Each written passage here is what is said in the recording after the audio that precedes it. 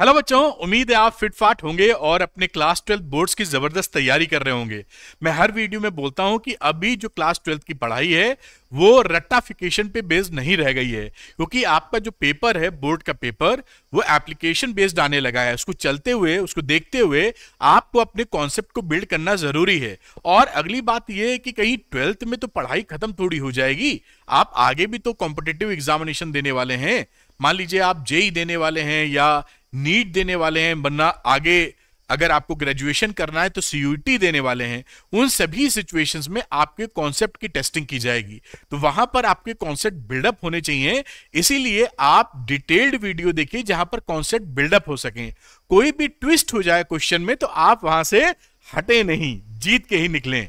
इसी चीज़ को सपोर्ट करने के लिए मैं ये डिटेल्ड वीडियो की सीरीज़ लेके आया हूँ और आज हम लोग रे ऑप्टिक्स पर फाइनल पार्ट पे हैं ऑप्टिकल इंस्ट्रूमेंट पर।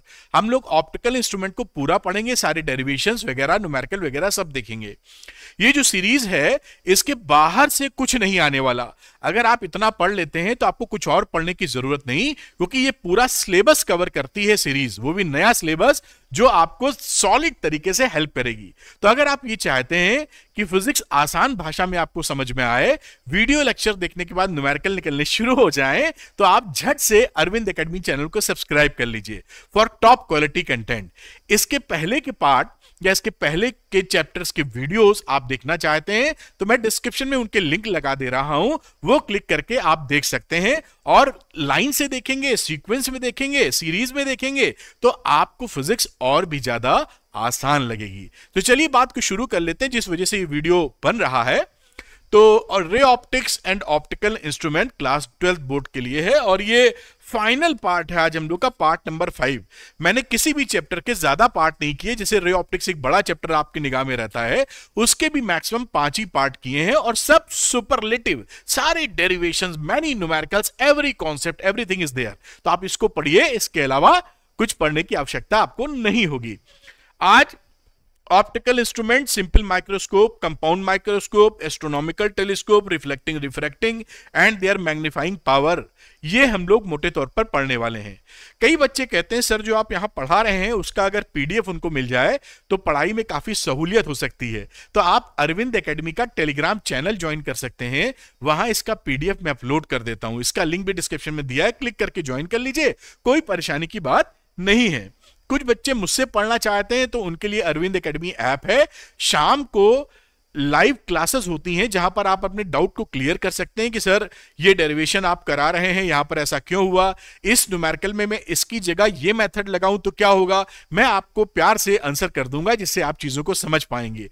इसी बात को देखते हुए हम लोग आपके लिए लेके आए हैं द्रोना बैच द्रोना फिजिक्स और द्रोना मैथमेटिक्स जहाँ पर सारी चीज़ पढ़ाने के बाद, आसान भाषा में डेरिवेशन न्यूमेरिकल सब कराने के बाद, दो स्पेशल हम लोग क्लासेस रखते हैं। एक स्पेशल क्लास होती है एनसीईआरटी कॉर्नर के नाम पर, जहाँ पर एनसीईआरटी के सवाल में लगवाता हूँ। और दूसरा जो टॉपिक रहता है या लेक्चर रहता है, वो डेडिकेटली रहता है पीवाईक्यूज कॉर्नर के नाम पर, जहाँ प्रीवियस ईयर क्वेश्चंस में लगवाता हूँ।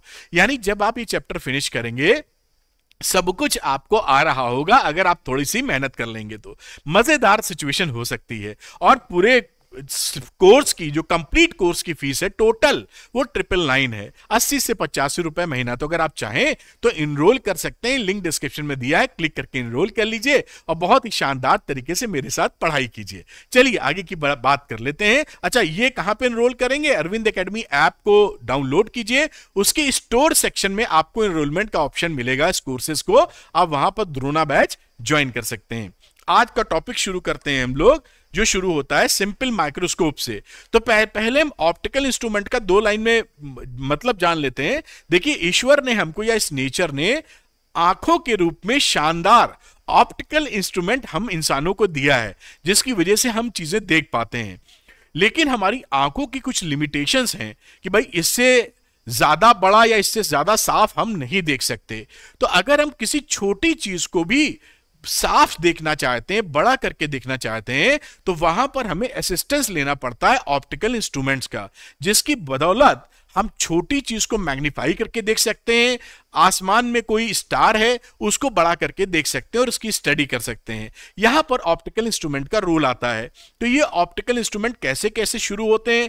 सिंपल होते हैं simple microscope compound microscope astronomical telescope reflecting reflecting ये देखेंगे। तो शुरुआत होती है सबसे बेसिक माइक्रोस्कोप से जो है सिंपल माइक्रोस्कोप सिंपल माइक्रोस्कोप क्या है? जस्ट एक कॉन्वेक्स लेंस है. और जो आप देखते होंगे न्यूज़पेपर वगैरह आता है और ओल्ड एज के लोग हो जाते हैं, उनको दिखाई नहीं पड़ता छोटे अक्षर तो वो कॉन्वेक्स लेंस से ऐसे पढ़ लेते हैं.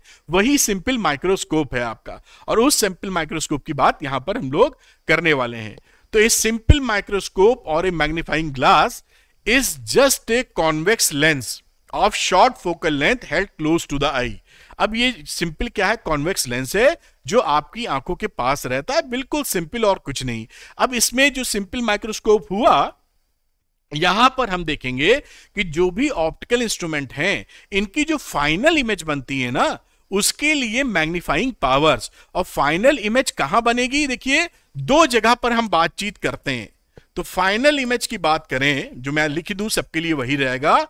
एक तो बनेगा final image H D D का मतलब क्या है? Least distance for distinct vision जो कि इंसानों के लिए 25 सेंटीमीटर होती है। तो ये 25 सेंटीमीटर हमारी होती है। यानी फाइनल इमेज अगर डी पर बनी तो उस समय मैग्नीफाइंग पावर क्या है?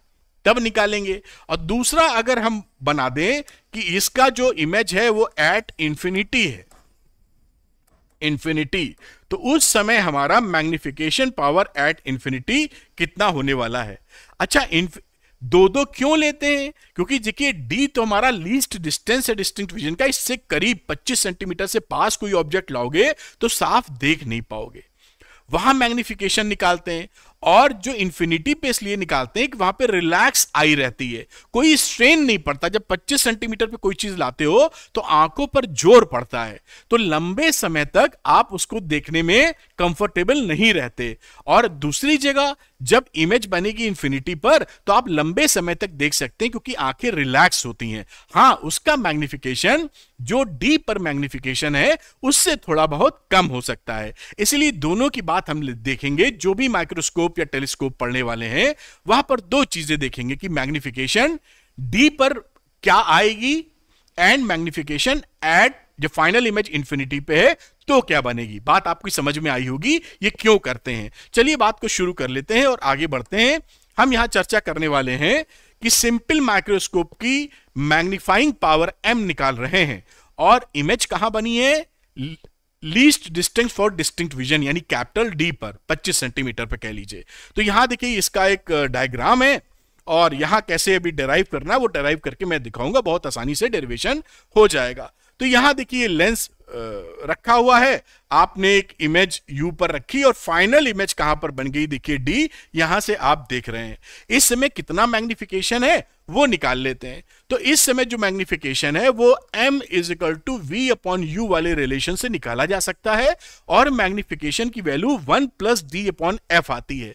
ये one plus D upon F कैसे आती है, इसको हम डेराइव करते हैं। तो नेक्स्ट स्लाइड आपको मैं इसका डेरिवेशन देता हूँ। यहाँ पर देखिए डेरिवेशन मैंने लिख भी दिया है जिससे आसानी से काम हो सके। तो यहाँ पर हम देखिए मैग्निफिकेशन को जो फॉर्मूला होता है वो एम वी अपॉन यू होता है, ये हम जानते ही हैं। तो इसका वी अपॉन यू लिख दिया। अब यहाँ पर आप क्या देखें, इस यू को अगर हम लेंस फॉर्मूले से इस्तेमाल करें one upon V minus one upon U is equal to one upon F तो वन अपॉन यू की वैल्यू क्या हो जाएगी? One upon V minus one upon F, और ये रहा, यहाँ पर देखें तो one upon U is equal to V F, और एफ़ माइनस यू, इस तरीके से लिख सकते हैं। या आप यही रोक दीजिए, इस वैल्यू को, ये जो वैल्यू आई, इस वैल्यू को हम लोग वन अपॉन यू की जगह पुट कर देंगे। तो v into one upon U, और वन अपॉन यू की जगह आपने वैल्यू डाल दी यहाँ, क्या? One upon V minus one upon F ठीक है, ये ये वैल्यू कहाँ से पुट की गई? यहाँ से पुट की गई। बहुत ही आसानी से। और यहाँ वी से मल्टीप्लाई कर दीजिए। तो ये आ जाएगा वी अपॉन वी यहाँ पर माइनस वी अपॉन एफ़ ये वैल्यू देखिए क्या बन गई? One minus V upon F ये मैग्नीफाइंग पावर आ गई। अब हम जानते हैं जो v होता है, लीस्ट डिस्टेंस के लिए। Now according to our sign convention now according to our sign convention v is negative and is equal to D तो अगर हम यहाँ पर v की जगह माइनस डी पुट कर दें इस रिज़ल्ट में तो ये रिज़ल्ट हमारा क्या बन जाएगा? M is equal to one V की जगह माइनस डी तो प्लस हो जाएगा one upon D upon F और ये देखिए आपका रिज़ल्ट आ गया हैंस प्रूव्ड तो इस फॉर्मूले को हमको ध्यान रखना है कि जो मैग्निफिकेशन है in case of simple microscope when the final image is at D उस समय मैग्निफिकेशन की वैल्यू होगी one plus D by F इस तरीके से इसको प्रूफ कर सकते हैं और दिमाग में रखिए, मैं हट जाता हूँ, इसको आप नोट कर लीजिए, फिर हम लोग चलेंगे जब फाइनल इमेज हमारी इंफिनिटी पर बनेगी तब। चलिए, इसको आपने नोट कर लिया होगा, ऐसी मुझे उम्मीद है। अगली बात देखते हैं, जैसे हम लोगों ने बात की थी कि दो दो केस होने वाले हैं डी पर इमेज बनेगी तो क्या, और फाइनली आगे बनेगी तो क्या। मतलब इंफिनिटी पे बनेगी तो क्या? तो सिंपल माइक्रोस्कोप लिया फाइनल इमेज एट इंफिनिटी तो यहाँ पर हम लोग जो मैग्नीफाइंग पावर या मैग्निफिकेशन निकालते हैं, उसको बोलते हैं एंगुलर मैग्निफिकेशन एंगुलर मैग्निफिकेशन का मतलब क्या होता है? ये इसका फॉर्मूला है एंगुलर मैग्निफिकेशन का. थीटा आई थीटा आई का मतलब है जो इमेज है, वो हमारी आँखों पर कितना एंगल बना रही है? थीटा आई मतलब इमेज और थीटा ऑब्जेक्ट तो यानी जो ऑब्जेक्ट है नेकेड आई से जब देख रहे हैं, जो मैक्सिमम एंगल बन सकता है, वो कहाँ बन सकता है? Least distance of distinct vision में। क्योंकि उससे पास कर देंगे तो एंगल तो बड़ा हो जाएगा, धुंधला दिखेगा। तो क्लियरली दिखे और मैक्सिमम एंगल बने, वो कहाँ पर मिलेगा? जब कोई ऑब्जेक्ट हमारी आँखों से डी डिस्टेंस पर होगा। तो maximum angle and clear vision तो उस समय हम थीटा नॉट की बात करते हैं, यानी थीटा बाई ऑब्जेक्ट। तो ये यहाँ इस केस में हम लोग जब इंफिनिटी पे बन रहा है तो एंगुलर मैग्निफिकेशन की बात करेंगे और एंगुलर मैग्निफिकेशन का ये फॉर्मूला हम इस्तेमाल करेंगे। यहाँ पर ये बातें मैंने लिख दी हैं, जो आप यहाँ पर देख सकते हैं। अच्छा क्योंकि यहाँ पर थीटा नॉट की बात करें और थीटा नॉट काफ़ी छोटा होगा, ऐसा समझ लें। तो टेन थीटा नॉट को लिखते हैं H upon D perpendicular upon base और क्योंकि हमारा थीटा नॉट छोटा है तो टेन थीटा को थीटा नॉट लिख सकते हैं। इसका भी इस्तेमाल हम कर पाएँगे। खैर, ये इसका आंसर आता है M is equal to D upon F ये क्या है? Magnification of simple microscope when final image is at infinity ये वैल्यू कैसे आई? इसकी चर्चा हम लोग करते हैं, इसका डेरिवेशन मतलब। तो आइए देख लेते हैं इसका डेरिवेशन तो यहाँ मैंने डेरिवेशन के लिए फोटोग्राफ पहले से लगा रखी है। तो जैसा मैंने आपको बताया कि जब आप किसी ऑब्जेक्ट को रखते हैं जिसकी हाइट एच है और डी पर रखते हैं, जहाँ पर आपका मैक्सिमम एंगल बनेगा डिस्टिंक्ट विजन पर तो यहाँ पर वैल्यू क्या लिख सकते हैं? Tan theta naught is equal to perpendicular upon base और ये अप्रोक्सीमेटली इक्वल कितना हो जाएगा? थीटा नॉट के। ये हम लोगों ने अभी देखा था। साथ में अगर हम मैग्निफिकेशन के फॉर्मूले की बात करें तो हम जानते हैं हाइट ऑफ़ इमेज ये हाइट ऑफ़ इमेज है। Upon height of object is equal to M is equal to V upon U we know that we know that ये फॉर्मूला हमको पहले से पता है, ये फॉर्मूला इसका हम लोग इस्तेमाल करने वाले हैं। मेरे ख्याल से ये, इसको थोड़ा सा हटा दें, वरना काट रहा है ऊपर डैश को। तो अब देखिए क्या करते हैं। हम यहाँ पर लेते हैं कि जैसे मान लीजिए कोई इमेज बन रही है जो थीटा आई एंगल हमारी आँखों पर सब्सटेंड कर रही है।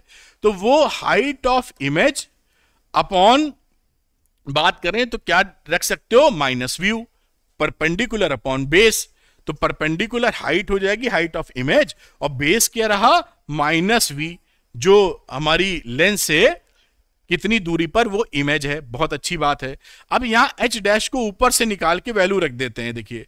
यहाँ पर अगर एच डैश निकालोगे तो एच डैश को क्या लिख सकते हो? V upon U into H ये देखिए, इसका इसका दिया एस डैश हो गया v upon U into H तो यहाँ पर one upon minus V into H dash को लिख दो।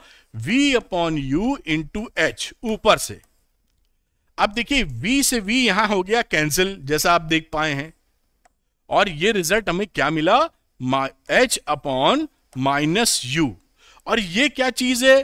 It is actually equal to theta perpendicular upon base आ रहा है। और ये थीटा किसका है? ये तो हाइट ऑफ़ ऑब्जेक्ट है। और ये हाइट ये distance of object from lens है। तो ये थीटा हमारा क्या हो गया? द एंगल ये क्या है? The angle subtended by tended by the object object when it, when is at, when is at u is equal to minus F अब ये u को माइनस एफ़ क्यों कर रहे हैं? क्योंकि अगर ये f पर नहीं होगा तो फाइनल इमेज इंफिनिटी पर नहीं बन पाएगा। आप बात को पकड़ पा रहे होंगे कि अगर ये f पर नहीं हुआ तो फाइनल इमेज इंफिनिटी पर नहीं बन पाएगा। चलिए उसकी बात देखते हैं तो यहाँ पर इसको थोड़ा सा आगे बढ़ाते हैं ऊपर। और u की जगह माइनस एफ़ पुट कर देते हैं। तो यहाँ वैल्यू हमारी क्या आ जाएगी? थीटा आई कलर को चेंज कर लेना चाहिए। Theta I is equal to H upon F ये यहाँ से देख पाए ना, u की जगह माइनस एफ़ डाला तो एच अपॉन एफ़ आया। अब एंगुलर मैग्निफिकेशन क्या था हमारे पास? एंगुलर मैग्निफिकेशन था theta I upon theta of object. तो थीटा आई क्या रहा? थीटा आई हमारा रहा, देख लेते हैं यहाँ पर, थीटा ये निकाला है, एच अपॉन एफ़। और थीटा ऑफ़ ऑब्जेक्ट की बात करें तो ऑब्जेक्ट वाला थीटा हमारे पास ये था एच अपॉन डी। तो मैंने इसको लिख दिया यहाँ पर एच अपॉन डी अब देखिए एच एच कैंसिल हो गया वैल्यू आ गई डी अपॉन एफ़ तो यहाँ से ये फॉर्मूला हमें याद रखना है D upon F this is important ये आंसर या हेंस प्रूव्ड आप कह सकते हैं। अब यहाँ पर ये जो मैग्निफिकेशन है, जैसा देख पा रहे हैं आप, पिछले वाले मैग्निफिकेशन से एक कम है। पिछले वाला जो फाइनल इमेज डी पर बन रही थी, उस समय मैग्निफिकेशन था one plus D upon F और ये है केवल डी अपॉन एफ़ लेकिन एक मैग्निफिकेशन कम कर कर अगर हम रिलैक्स आई से देख पाए काफ़ी देर तक तो ये समझौता बुरा नहीं है। वैसे चॉइस आपकी रहती है। तो यहाँ पर ये ध्यान देने वाली बात है कि मैग्निफिकेशन तो एक यूनिट से घटा। One plus D by F की जगह डी बाई एफ़ हुआ, लेकिन कंफर्टेबल विविंग मिल गई। तो ये मैग्निफिकेशन आप ज़रूर नोट कर लीजिए। सिंपल माइक्रोस्कोप के लिए जब फाइनल इमेज इंफिनिटी पर बन रही है, तब। मैं इसको आपको ध्यान दिलवा देता हूँ, इसको नोट करें, फिर आगे की बात हम लोग करेंगे। तो ये यहाँ पर, जिससे कि आप इसको नोट कर पाए, ये लीजिए, इसको नोट कर लीजिए, मैं हट गया हूँ, और नेक्स्ट बात इसके आगे की करते हैं। ये आप बात बनी होगी, इसको थोड़ा ऊपर ले जाते हैं, सारी बात आपके सामने है। अब यहाँ पर देख लेते हैं कि यूजेस ऑफ़ सिंपल माइक्रोस्कोप क्या है। और कुछ खास बातें फिर कंपाउंड की तरफ़ चलेंगे, जब कंपाउंड की आवश्यकता भी हमको दिख जाएगी।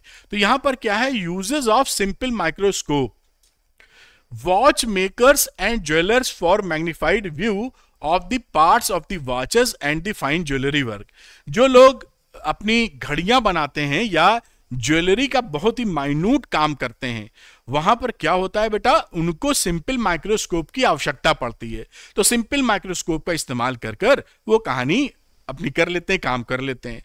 दूसरा in magnifying the printed letters in a book book में अगर प्रिंटेड लेटर्स हैं छोटे हैं तो उसको बड़ा करके पढ़ना है तो इसकी मदद से आप पढ़ सकते हैं। टेक्सचर्स ऑफ़ फाइबर्स और थ्रेड्स ऑफ़ ए क्लॉथ यानी क्लॉथिंग है, उसको माइन्यूटली देना है कि भाई कैसा टेक्सचर है, इसके थ्रेड कैसे हैं तो भी इसका इस्तेमाल किया जाता है। इन ग्रेविंग्स आप जानते कहीं पर लिखा हुआ छोटे छोटे कुरेद कर तो उसको भी पढ़ लेते हैं। डिटेल्स ऑफ़ स्टैम्प्स वगैरह, इन साइंस लैब्स भी इसका इस्तेमाल खूब धड़ल्ले से होता है। तो ये इसके यूज़र्स हैं सिंपल माइक्रोस्कोप के। लेकिन ये इसका जो मैग्निफिकेशन है, वो नॉर्मली नौ या नौ से कम ही रहता है। ये देखिए a simple microscope has a limited maximum magnification which is less than or equal to nine for realistic focal lens तो रियलिस्टिक फोकल लेंस के लिए जो हम फोकल लेंथ अचीव कर पाते हैं, उसके लिए नौ या नौ से कम रहता है। इसलिए बहुत बड़ा फिगर हमें अचीव नहीं होता है। भाई मैग्निफिकेशन अगर कोई एक एक सेंटीमीटर का ऑब्जेक्ट है तो आप ज़्यादा से ज़्यादा नौ सेंटीमीटर देख पाएँगे बड़ा करके इससे। तो हमें इतने से काम हमारा नहीं चलता तो हमें चाहिए होता और मैग्निफिकेशन तो उसके लिए हम कंपाउंड माइक्रोस्कोप यूज़ करते हैं। कंपाउंड माइक्रोस्कोप क्या है? एक लेंस की जगह दो लेंस का इस्तेमाल करते हैं। और अब तो आज के जमाने में मल्टीपल लेंसेज इस्तेमाल किए जाते हैं अच्छी मैग्निफिकेशन के लिए और शार्प इमेज के लिए। तो यहाँ पर कंपाउंड माइक्रोस्कोप की ज़रूरत महसूस इसलिए हुई क्योंकि सिंपल माइक्रोस्कोप का मैग्निफिकेशन नौ से ज़्यादा नहीं बन पा रहा है। तो चलिए चलते हैं कंपाउंड माइक्रोस्कोप की तरफ़ और देखते हैं वो कितना मैग्निफिकेशन दे पाता है। एक अच्छा कंपाउंड माइक्रोस्कोप जो होता है, उसका मैग्निफिकेशन हज़ार तक हो सकता है। एक सेंटीमीटर की अगर इमेज है तो वो हज़ार सेंटीमीटर बड़ी देखी जा सकती है with the help of compound microscope तो ये रहा अब शुरुआत हो जाती है आपकी कंपाउंड माइक्रोस्कोप की। यहाँ पर देखिए a compound microscope is an optical device use to see magnified images of tiny objects a good quality compound microscope can give you magnification of the order of one thousand one thousand is a huge figure तो आप compound microscope से इतनी इतनी ज़्यादा magnification प्राप्त कर सकते हैं। चलिए कुछ बातें और देखते हैं। जैसा बातचीत हम लोग की हुई कि जो कंपाउंड माइक्रोस्कोप होता है, उसमें दो लेंसेज होते हैं। तो एक जो लेंस होता है, एक को बोलते हैं ऑब्जेक्टिव जो ऑब्जेक्टिव वाला लेंस है, वो ऑब्जेक्ट की तरफ़ रहता है। इसलिए ऑब्जेक्टिव बोलते हैं, जिसको देखना है। भाई, जिस चीज़ को आप देख रहे हैं, उसकी तरफ़ ऑब्जेक्टिव लेंस रहता है। और जहाँ से आप देख रहे हैं, आँखें जिसके पास होती हैं, उसको आईपीस बोलते हैं। तो दो लेंस हो गए ऑब्जेक्टिव ऑब्जेक्ट की तरफ़ आईपीस आँख की तरफ़। ये दो लेंसेज इस्तेमाल होते हैं। कंपाउंड माइक्रोस्कोप में दोनों लेंसेज का फोकल लेंथ छोटा रखा जाता है। ये पूछा जाता है, आपसे क्यों आगे मैंने शायद डाला भी है। इसलिए कि दोनों का दोनों का फोकल लेंथ छोटा रखने से आपको मैग्निफिकेशन ज़्यादा मिलता है और मैग्निफिकेशन हमको चाहिए। तो हम लोग दोनों का फोकल लेंथ कम रखते हैं जिससे हाइयर मैग्निफिकेशन हमको मिले। और कंपाउंड माइक्रोस्कोप की एक और अच्छी बात होती है जिससे पहचानते हैं कि टेलीस्कोप है या माइक्रोस्कोप, अगर केवल ये बताया जाए कि आईपीस या ऑब्जेक्टिव की इतनी इतनी फोकल लेंथ है। वो, ये लिखिए कि आईपीस की जो फोकल लेंथ होती है, यानी इस वाले लेंस की वो ऑब्जेक्टिव वाले से थोड़ी सी बड़ी होती है। और जब हम टेलीस्कोप देखेंगे तो उसका उल्टा मिलेगा। इसकी फोकल लेंथ बड़ी मिलेगी। खैर, अभी देखेंगे थोड़ी देर बाद। तो यहाँ हम लोग जो बात कर रहे हैं कंपाउंड माइक्रोस्कोप में, दोनों की फोकल लेंथ छोटी, लेकिन focal length of eyepiece is more than focal length of objective lens ये इसकी विशेषता है कंपाउंड माइक्रोस्कोप की। तो ये बात आप यहाँ पर देख पाए होंगे। कि ऑब्जेक्टिव और आईपीस दो तरह के लेंसेज हो गए बेटा यहाँ, और convex lens of very short focal length F naught and small aperture ये स्मॉल अपर्चर का लेंस होता है, और एफ़ नॉट छोटा है। It is position near the object to be magnified और आईपीएस क्या है? Convex lens of comparatively larger focal length F E and the large aperture ये लार्ज अपर्चर इसलिए होता है कि जब, भाई छोटा इसलिए रखते हैं कि हम माइक्रोस्कोप से देख रहे हैं तो यहाँ तो लाइट हम लगा सकते हैं ना, इस पर डाल सकते हैं ऑब्जेक्ट पर। तो जो भी लाइट डालें, सारी इसके अंदर आ जाए। ये पकड़ लेता, कोई दिक्कत नहीं। इसके बाद जब इसके अंदर आई आँखों के पास आ जाता है तो इसको लार्ज फोकल लेंथ रखते हैं कि सारी लाइट हमें मिल जाए यहाँ पर। कोई लाइट जाए ना। तो इसलिए इसका पर्चा थोड़ा बड़ा रखते हैं, जिससे कि जो लाइट इसके अंदर आई है माइक्रोस्कोप के, वो हमारी आँखों तक मिले, जिससे ब्राइट ऑब्जेक्ट हमको मिल सके। ये इसकी कहानी है। थोड़ा और समझते हैं। अब आता है मैग्निफिकेशन की बातचीत। यहाँ भी मैग्निफिकेशन की चर्चा जब होगी तो इमेज फॉर्मेशन दो जगह होगा। एक स्मॉल डी कैपिटल डी पर और दूसरा इंफिनिटी पर। तो आप समझ गए ना हर जगह इमेज रखेंगे डी और एफ़ पर और उसके लिए मैग्निफिकेशन की चर्चा करेंगे। तो चलिए बात कर, यहाँ करते हैं magnifying power of compound microscope final image at D तो फाइनल इमेज अगर डी पर है तो मैग्निफिकेशन कितना है? तो वो मैग्निफिकेशन की वैल्यू आती है यहाँ देख रहे हैं अभी हम लोग इसको डराइव भी करने वाले हैं। M is equal to V naught upon U naught one plus D upon F E या एक फॉर्मूला और आ जाता है M is equal to minus L naught L upon F naught one plus D upon F E और L को लिख देते हैं लेंथ ऑफ़ माइक्रोस्कोप ट्यूब और the distance between the two lenses approximately ठीक? अब ये फॉर्मूले कहाँ से आए? ये जरा देख लेते हैं हम लोग इसको डराइव करके।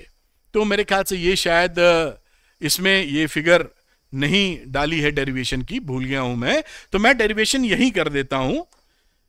इसी फिगर का इस्तेमाल करके। तो चलिए यहाँ पर डेरिवेशन के लिए बातें यहाँ मैं लिख देता हूँ डेरिवेशन कोई बड़ा नहीं, बहुत ही आराम से डेरिवेशन कर सकेंगे। और डेरिवेशन के लिए यहाँ देखिए, हमें पता है कि जो मैग्निफिकेशन होता है फाइनल मैग्निफिकेशन वो होगा क्या? ये जितना मैग्निफिकेशन कर रहा है M O magnification by objective lens into magnification of eyepiece तो एमओ इंटू एम लिखा जा सकता है फाइनल मैग्निफिकेशन के लिए, कोई समस्या नहीं है। अब हम बात करते हैं एमओ की। एमओ क्या है? मैग्निफिकेशन बाय ऑब्जेक्टिव लेंस तो इसको आप लिख सकते हो V naught upon U naught भाई, ये जो यहाँ पर अगर आप देखें तो यहाँ पर हमने एक इमेज रखी है। वो इमेज आपकी ऑब्जेक्टिव लेंस के सामने है। और इसका जो इमेज बनता है, इसका जो ऑब्जेक्ट है ये ये ऑब्जेक्ट का जो इमेज बनेगा, वो इमेज यहाँ बन रहा है। इसकी फोकल लेंथ के जस्ट समझ लीजिए करीब में है। तो इसको ऐसा रखते हैं हम लोग कि ये भी फोकल लेंथ के पास ही होता है। पास होता है, थोड़ा सा बाहर की तरफ़, पास में, जिससे हमारी रियल इमेज प्राप्त हो जाए हमको। और इसके बाद ये फोकल लेंथ के पास में रहता, अंदर की तरफ़, जैसे इसकी ये इन्वर्टेड है तो ये भी इन्वर्टेड लार्ज इमेज हमको मिल जाए। इस तरह से इसकी वर्किंग होती है। तो यहाँ पर एम नॉट क्या हो गया? जितना ये वी नॉट है इमेज जहाँ बन रही है अपॉन जहाँ पर ये ऑब्जेक्ट रखा है यू नॉट ये हम लोग जानते हैं पहले से। तो M is equal to V naught upon U naught अब जो फाइनल इमेज है, वो फाइनल इमेज एट डी अब ये जो फाइनल इमेज डी पे बन रही है तो ये तो सिंपल माइक्रोस्कोप की तरह काम कर रहा है ना, पहले वाला फॉर्मूला तो पहले वाले के लिए जब इमेज बनती थी डी पर तो उस समय क्या फॉर्मूला लेते थे? मैग्निफिकेशन का उस समय फॉर्मूला लेते थे हम लोग। एमई यानी magnification of eyepiece one plus D upon F E ये फॉर्मूला लेते थे। तो ये इसका मैग्निफिकेशन आ गया। तो फाइनल मैग्निफिकेशन क्या रहा बेटा? M is equal to M naught into M E M naught की वैल्यू यहाँ से डाल दो। V naught upon U naught one plus D upon F E. और ये हमारा देखिए एक फॉर्मूला बन गया जो हमें ध्यान रखना है। ये जो पहला वाला फॉर्मूला है, ये हो गया।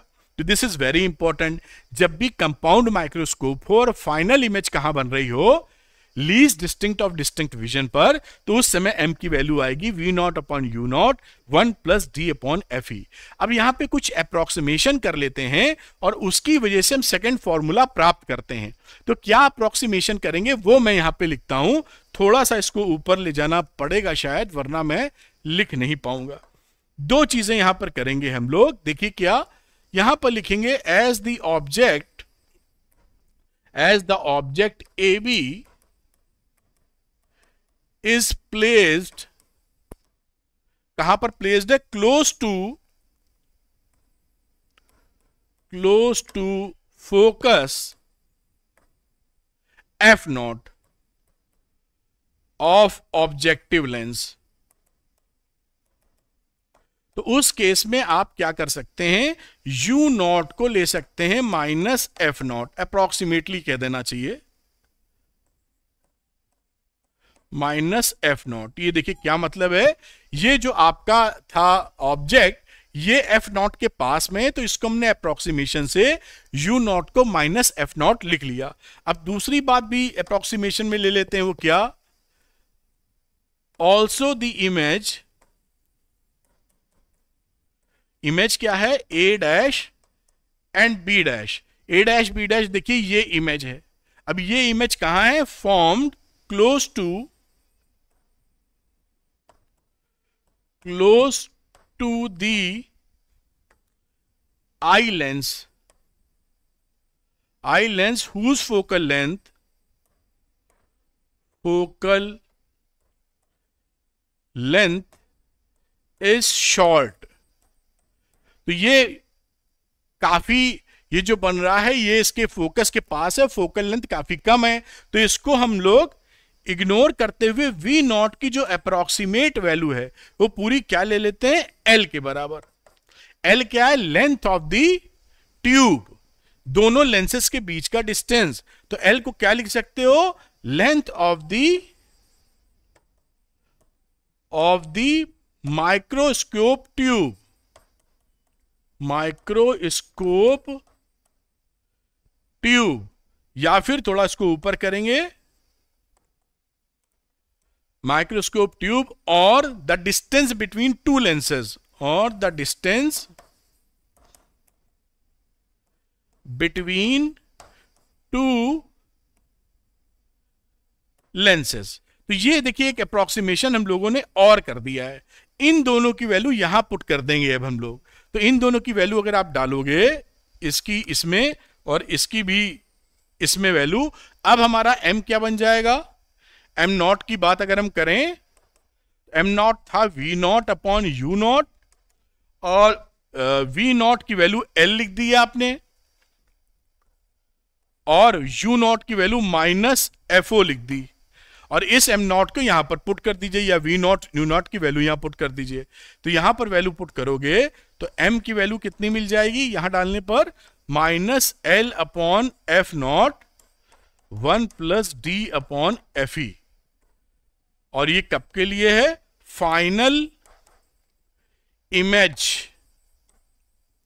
एट डी ये आपका आ, आपका एक और उसी का थोड़ा अप्रोक्सीमेशन लेते हुए आंसर आ गया। लेकिन ध्यान रखिएगा अगर आपको लेंथ ऑफ़ द ट्यूब की बात एग्जैक्टली exactly पूछी जाए तो वीओ के बाद जो बची हुई डिस्टेंस है आपकी यूई e, उसे फिर आप ऐड करेंगे। VO plus UE exact distance तो वही है ट्यूब लेंथ मतलब लेंथ ऑफ़ द ट्यूब तो वीओ प्लस यूई लेकिन ये अप्रोक्सीमेशन के बाद आप इसका इस्तेमाल कर सकते हैं। खैर, इसको आप नोट कर लीजिए, ये डेरिवेशन हो गया जब हमारा इमेज बन रहा था फाइनल इमेज था एट डी पर। अब फाइनल इमेज को इंफिनिटी पे ले जाएँगे, तब देखेंगे कितना मैग्निफिकेशन आ रहा है। तो इसको मैं नीचे करता हूँ और इस डेरिवेशन को आप नोट कर सकते हैं। तो मैं थोड़ा सा और नीचे लाता हूँ। ये देखिए यहाँ तक आ गया, इसको आप नोट कर लीजिए, फिर मैं इसको ऊपर कर दूँगा जिससे पूरी बात आप नोट कर पाए। मेरे ख्याल से आप कर पाए होंगे। इसको थोड़ा सा ऊपर ले जाते हैं और यहाँ तक आप आसानी से इसको नोट कर लें कि कैसे ये डेरिवेशन करके ये रिज़ल्ट हमें अचीव हुआ है। तो खैर, इसको आप नोट कर पाए होंगे। चलिए चलते हैं, आगे कदम बढ़ाते हैं। और अब यहाँ पर आप देखें तो फाइनल इमेज इंफिनिटी पर है। अभी लास्ट वाली क्या थी? फाइनल इमेज डी पर थी। तो जब कंपाउंड माइक्रोस्कोप में फाइनल इमेज इंफिनिटी पे होती है, उस समय आपकी वैल्यू होती है एमओ इंटू एम यानी minus L upon F O into D upon F E और length of the microscope tube और the distance between the two lenses L आपका वही है। तो यहाँ पर इसको कैसे हम लोग डेराइव करेंगे, ये भी बात हम लोग देख लेते हैं। क्या मैंने डेरिवेशन के लिए फ़ोटो लगाई है, या मुझे यही करना होगा? मुझे यही करना होगा, कोई दिक्कत की बात नहीं है। मैंने कोशिश करता हूँ अलग से लगा दूँ, जिससे और सफ़ाई से बात की जा सके। तो मैं डेरिवेशन यही कर देता हूँ, बहुत ही आसान सा डेरिवेशन है। हम लोग जान रहे थे कि जो एम एम नॉट है, उसकी वैल्यू क्या थी? L upon minus F O objective lens वाला जो एल अपॉन यहाँ पर देखा था ना हम लोगों ने? ऑब्जेक्टिव की बात जो थी ये L upon minus F O भाई अभी फाइनल इमेज नहीं बनी ऑब्जेक्टिव लेंस ने अपना मैग्निफिकेशन दिया है। तो एम नॉट की वैल्यू हो गई L upon minus F O और आई पीस ने कहा किया है? तो आप जानते हैं कि जो एंगुलर मैग्निफिकेशन है due to eyepiece M due to eyepiece simple microscope की तर, तरह ये कहाँ पर बनाएगा? इंफिनिटी पर। तो ये इंफिनिटी पे बनाने वाला फॉर्मूला सिंपल माइक्रोस्कोप का क्या था बेटा? वो था M E is equal to D upon F E तो टोटल मैग्निफिकेशन क्या रहा? दोनों को मल्टीप्लाई कर दो। तो total magnification M O into M E तो दोनों का आपने मल्टीप्लाई किया तो minus L upon F O into D upon F E बस, ये प्रूव हो गया देखिए। बहुत ही छोटा प्रूफ था ये। तो यहाँ पर ये आपका फॉर्मूला प्रूफ हो जाता है कंपाउंड माइक्रोस्कोप से जब आपका फाइनल इमेज कहाँ बन रहा हो? इंफिनिटी पर। इन फॉर्मूलों को याद रखना आवश्यक है, जिससे फटाफट सवाल आप लगा पाए। तो मैं हटता हूँ, कुछ बातें और इसको आप नोट कर लीजिए एक मिनट फिर एक कदम आगे बढ़ाएँगे। मेरे ख्याल से आपने नोट कर लिया होगा।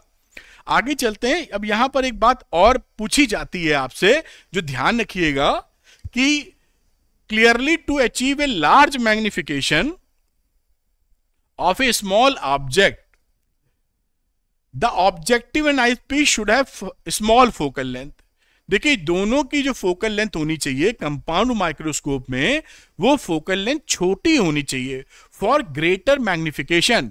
तो ये सवाल आपसे पूछते हैं क्वेश्चन में कि हमारी कंपाउंड माइक्रोस्कोप में दोनों की फोकल लेंथ छोटी होना ज़रूरी क्यों है? तो इसका आंसर क्या है? दोनों की focal length objective and eyepiece. दोनों की फोकल लेंथ छोटी होना इसलिए ज़रूरी है क्योंकि वो ग्रेटर मैग्निफिकेशन देता है।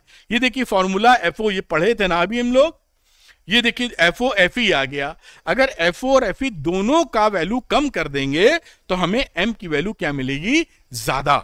इसलिए फोकल लेंथ ऑब्जेक्टिव और आईपीस का कम से कम होना चाहिए। अब आप ये सोच सकते हैं कि अगर कम से कम होना चाहिए तो इतनी ज़्यादा कम कर दें कि खूब मैग्निफिकेशन मिल जाए। ये पॉसिबल नहीं हो पाता है। क्यों? क्योंकि नॉर्मली जब आप किसी लेंस को बनाते हैं तो रियलिस्टिक फिगर में एक सेंटीमीटर से कम का फोकल लेंथ अचीव नहीं कर पाते नॉर्मली तो एक सेंटीमीटर से कम का अचीव नहीं कर पाएँगे तो वहाँ पर यह भसड़ पड़ जाती है, दिक्कत पड़ जाती है। और अगर आप ज़्यादा कम करने की कोशिश में आएँगे तो कई डिफेक्ट्स भी आने लगते हैं। क्लियर इमेज नहीं होती, एबिरेशंस होते हैं, जो डिफेक्ट्स कहलाते हैं, चाहे वो क्रोमेटिक हो या जो भी डिफेक्ट हो, उस वजह से इमेज की शार्पनेस पर बहुत प्रभाव पड़ता है। तो आपको इमेज दिख रही है बड़ी, लेकिन धुंधली दिख रही है तो ऐसी इमेज देखने से फ़ायदा क्या है? इसलिए सर्टन लिमिट के बाद हम एफ़ ओ एफ़ ई को कम नहीं कर सकते, क्योंकि इमेज में ब्लरिंग या डिफेक्ट्स आने शुरू हो जाएँगे, जैसे आप इस बातों को पकड़ पाए होंगे। यह बात कुछ एग्ज़ाम्पल के केस में कही है एनसीआरटी में ही बोला है with an objective with F O अगर हमारा एफओ का ऑब्जेक्टिव लेंस है एक सेंटीमीटर का और आईपीस का है दो सेंटीमीटर का, और ट्यूब लेंथ अगर ट्वेंटी है तो उससे मैग्निफिकेशन हम ढाई सौ अचीव कर लेते हैं। दिख रहा है ना आपको? अब आप सोचें एफ़ ओ एफ़ और कम कर लें। वो संभव नहीं हो पाता। Various other factors such as illumination of object मतलब कितना चमकदार इमेज बन रहा है contribute to the equality and visibility of the image ये कंट्रीब्यूट करता है कि इमेज की क्वालिटी कैसी है। और उसकी विजिबिलिटी कैसी है? इन मॉडर्न माइक्रोस्कोप हम लोग क्या करते हैं? मल्टी कंपोनेंट्स लेंसेज कई सारे लेंसेज यूज़ करने लगे हैं, जिससे मैग्निफिकेशन हमको ज़्यादा मिले और क्लियर विजन मिले या क्लियर इमेजिंग मिले शार्प इमेज मिले ब्राइटर इमेज मिले। आजकल ये होने लगा है। तो इस तरीके से कंपाउंड माइक्रोस्कोप की बात हो जाती है। आगे कुछ सवाल लगाते हैं, फिर हम टेलीस्कोप पे चलने वाले हैं। तो आइए कुछ सवालों की तरफ़ अपना रुख कर लेते हैं। देखिए, पहला जो क्वेश्चन है बेटा, वो तो आपको डायग्राम बनाने वाला क्वेश्चन है, या आप कर लेंगे। ड्रॉ ए रे डायग्राम। आप हमेशा ध्यान रखिएगा कि ये बहुत इंपॉर्टेंट क्वेश्चन होता है। आपके लगभग हर बार कोई ना कोई कंपाउंड माइक्रोस्कोप या टेलीस्कोप या रिफ्लेक्टिंग टाइप टेलीस्कोप का फिगर आपसे पूछ लेते हैं। तो और इसका फिगर आप तभी एग्जामिनेशन में बना पाएँगे जब घर पर घर पर इसकी दो से तीन बार आप प्रैक्टिस करेंगे, वरना रे भिड़ेंगे ही नहीं ठीक तरीके से। तो आप खींच नहीं पाएँगे रे बिना प्रैक्टिस के। तो दो तीन बार घर पर इनके जो डायग्राम है, चार पाँच, उनकी प्रैक्टिस आप कर लें। जो मैं बता भी रहा हूँ डायग्राम, उसको देख के प्रैक्टिस कर लीजिए, जिससे एग्जामिनेशन में बड़ी सहूलियत से इसको बना सकें।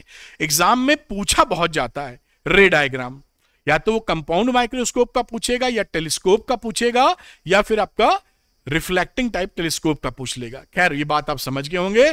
हम लोग अभी ये न्यूमेरिकल करने वाले हैं in a compound microscope and object is place ऐसे डिस्टेंट ऑफ़ 1.5 सेंटीमीटर तो यहाँ पर यू ये ऑब्जेक्टिव की कहानी है तो यूओ की वैल्यू हो गई minus one point five centimetre आगे देखते हैं क्या फिगर हमारे पास है। From the objective of the focal length ये फोकल लेंथ ऑब्जेक्टिव का है। तो ऑब्जेक्टिव का फोकल लेंथ हमारे पास क्या आया? 1.25 सेंटीमीटर कॉन्वेक्स है प्लस हो जाएगा। From the objective focal length this one if the eyepiece a focal length five centimetre जो आई पीस है, इसका फोकल लेंथ प्लस पाँच सेंटीमीटर है। And the final image is formed at the near point near point का मतलब है D पर बन रहा है। तो वी ई की वैल्यू क्या ले लेंगे हम लोग? डी ले लीजिए। ठीक है? फिर क्या बोलता है? Find the magnifying power of the microscope M निकालना है। तो जब भी डी कंपाउंड माइक्रोस्कोप में, ये देखिए कंपाउंड माइक्रोस्कोप था, जब भी आपका फाइनल इमेज बनता है डी पर तो फॉर्मूला क्या इस्तेमाल करते हैं? आपको याद होगा, अभी हम लोगों ने किया है F is equal to V O upon U O one plus D upon F E इस फॉर्मूले को हमें इस्तेमाल करना है। क्या क्या चीज़ हमारे पास है?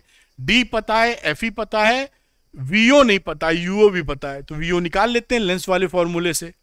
तो लेंस वाला फॉर्मूला इस्तेमाल किया one upon VO minus one upon UO is equal to one upon F O one upon VO निकालना है यूओ की वैल्यू कितनी है? डेढ़ सेंटीमीटर एफ़ ओ कितना है बेटा? One upon one point two five तो यहाँ पर अगर आप आगे लेके जाएँ तो देखिए यहाँ पर मैं लिखता हूँ one upon VO is equal to one upon one point two five minus, plus हो जाएगा minus one upon one point five. अब आप इसको सॉल्व कर सकते हैं, पॉइंट पॉइंट हटा के अपना हिसाब बना के, जैसे कि ये वैल्यू हो जाएगी सौ अपॉन एक सौ पच्चीस और दस अपॉन पंद्रह।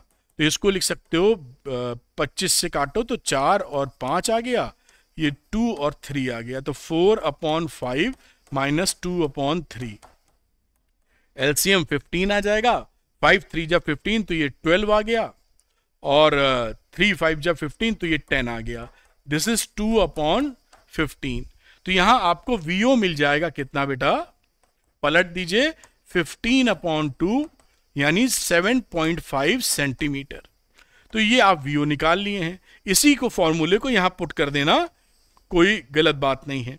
तो हम लोग यहाँ पर इसका इस्तेमाल करते हैं। वीओ को लिख देते हैं 7.5 और यूओ जो हमारा कितना था?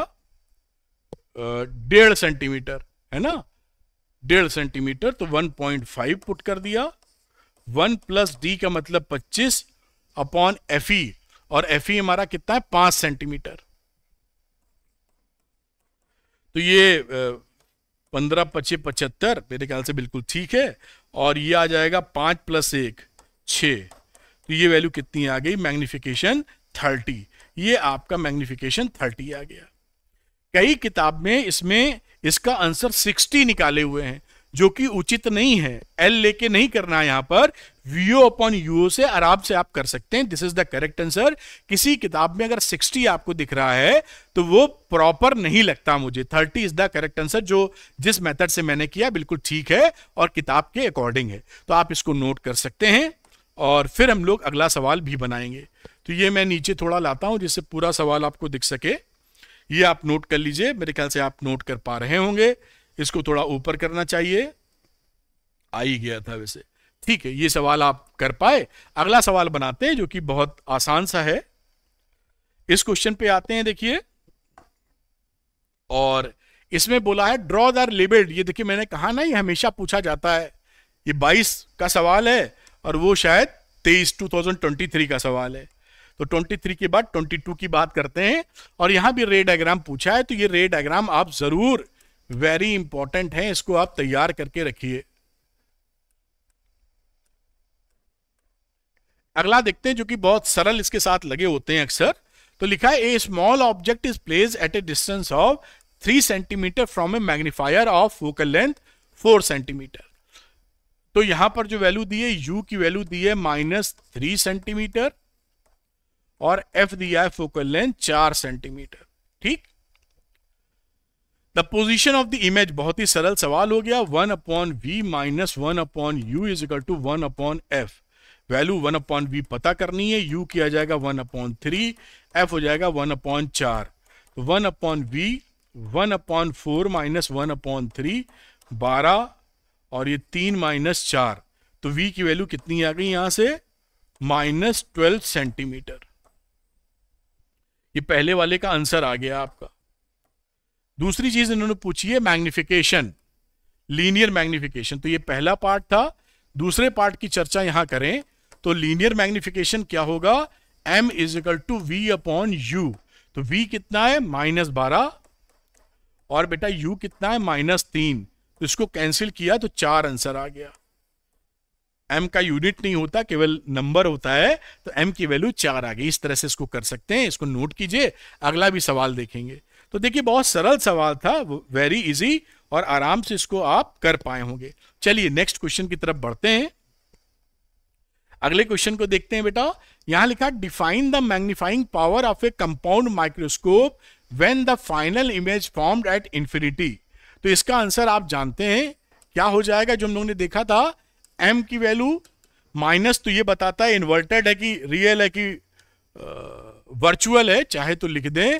L upon F O and D upon F E ये देखिए, ये इसका फॉर्मूला इन्होंने फॉर्मूला ही पूछ लिया था कि फाइनल इमेज अगर इंफिनिटी पे बन रहा है तो उसका मैग्निफिकेशन कितना होगा।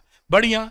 आगे why must both the objective and eyepiece of compound microscope है शॉर्ट फोकल लेंस ये देखिए, मैंने कहा था ना, ये बहुत पूछा जाता है कि कंपाउंड माइक्रोस्कोप का ये जो वैल्यू आप, एक तो फॉर्मूला ये लिखा है दूसरा हम लिखें अगर तो L upon F O one plus D upon F E ये कब का फॉर्मूला है? जब डी पर बन रहा हो इमेज दोनों में एफ़ ओ एफ़ ई हमारा नीचे आ रहा है। तो if F O and F E are small then we get we get more magnification या लार्ज मैग्निफिकेशन इसलिए हमको ये छोटा चाहिए होता है एफ़ ओ एफ़ ई की लार्ज मैग्निफिकेशन हम अचीव कर सकें। और इससे एम की वैल्यू हमें मिल जाती है काफ़ी हाई और इसीलिए हम ऐसा करते हैं। तो इसको भी आप नोट करें। अगला सवाल और बनाते हैं। देखिए, बिल्कुल आप शांति से देखते जाएँगे। सारे सवाल आपके गारंटी है कि सही होते चले जाएँगे। अगली बात देखते हैं बेटा हम लोग। ये भी नुमेरिकल है 2020 का।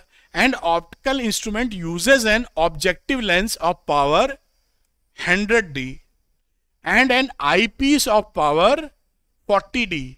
The final image is formed at infinity when the tube length of the instrument is kept at 20 centimeter. Tube length दिया है 20 centimeter. Identify the optical instrument. देखिए ऑप्टिकल इंस्ट्रूमेंट हम कैसे पता करेंगे क्योंकि ये यहाँ पर ऑब्जेक्टिव और आई पीस की बात की तो सिंपल माइक्रोस्कोप तो होगा नहीं अब ये कंपाउंड क्योंकि उसमें एक ही लेंस होता है, कंपाउंड माइक्रोस्कोप या टेलीस्कोप के बीच का टाई है। तो कैसे पता करते हैं इसकी फोकल लेंथ निकालो? हम लोग पहले फोकल लेंथ निकालते हैं। तो पावर दे रखी है पहले वाले की 100 डायोप्टर। तो अगर ऑब्जेक्टिव की पावर 100 डायोप्टर है तो इससे आप एफओ निकालो। आप जानते हैं ना formula? P nought is equal to one upon F nought. तो इसको वन अपॉन हंड्रेड डायोप्टर रख देंगे। तो इससे वैल्यू कितनी आ जाएगी? मीटर में आ जाएगी पॉइंट ज़ीरो वन मीटर या सेंटीमीटर में बोले तो एक सेंटीमीटर। एग्रीड है आप? आईपीएस की बात करते हैं। आईपीएस का 40 डायोप्टर दे रखा है। तो हम ये जानते हैं यहाँ पर मैंने उल्टा अभी नहीं करना चाहिए फोकल लेंथ 100 डी सही रखा है तो दुरुस्त तो रखा है पी इसको टू वन अपॉन एफ़ उल्टा लिख के लग रहा है। वन अपॉन एफ़ ओ है ये, और इसकी वैल्यू दे रखी है आपको सौ।